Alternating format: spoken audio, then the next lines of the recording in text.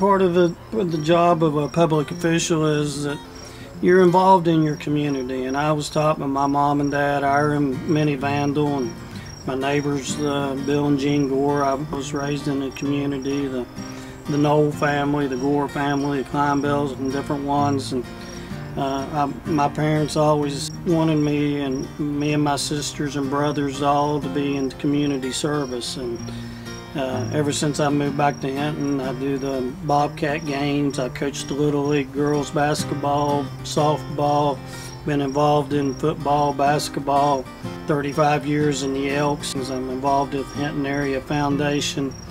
Feel that being part of um, a public official is, goes hand in hand with uh, community service and being a part of your community and giving back.